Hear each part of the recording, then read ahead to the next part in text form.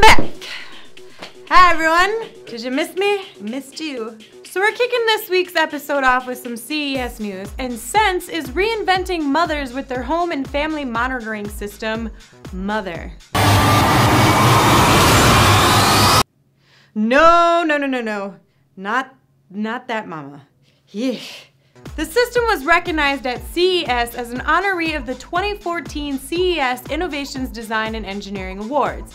It is designed to monitor home and family life, connecting to home networks with an Ethernet port and coupled with accompanying mobile sensors called cookies that detect location, movement, and temperature.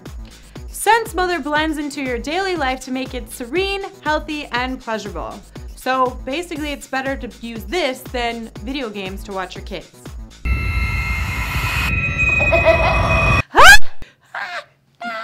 Researchers from the Université Autónoma de Barcelona Department of Physics and the Institut Català de Nanociencia y Nanotecnologia, and with the participation of the Université de Barcelona, did you catch all that? has been able to reproduce in particles measuring 10 to 20 nanometers a magnetic phenomena of great importance in magnetic devices. Yes, we are talking about the anti-ferromagnetic coupling between layers. Got that? This phenomenon Ah, that was a good movie. This phenomenon appears when coupling layers of materials with different magnetic properties, which allows controlling the magnetic behavior of the whole device. This property has very important technological applications. So, for example, it forms an important part of data reading systems found in hard drives and in the MRAM memories of computers and mobile devices. If you want to know more information on this research, click on the link below. Redecorating can be a pain in the you-know-what sometimes, especially when it comes to choosing the right colors for the right space. This room is too blue for my eyeballs! You can be out walking around, see a certain color that you really like, but then when it comes time to match it, you can't find that color. Anywhere. With the Swatchmate Cube, you can capture any color of any surface, like the red in Darth Maul's face. Or how about the orange in this lovely piece of graffiti art? Oh, these shoes!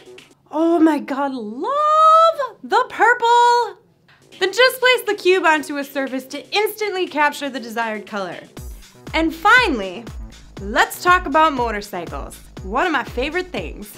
A fun activity, but a potentially dangerous one too. So Skully Helmets has created an augmented reality helmet, the Skully AR1, to help make riding a lot more safe.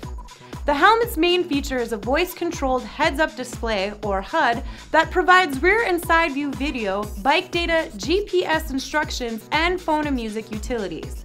With an advanced situational awareness system that displays navigation and blind spot data, riders are able to focus on the most important part of the ride, the road. Well, that's all for this week. For more wireless news, go to wirelessdesignmag.com, and you can also join in on the conversation by following us on Twitter, liking us on Facebook, or sending me your comments to meaghan.ziemba at advantagemedia.com. For WDD, I'm Meaghan Ziemba, and I'll see you next time in the hotspot. Missed you guys. Come stop. Saying words here. Like, oh, those shoes! Look at those shoes. Telemundo. Eric, stop it.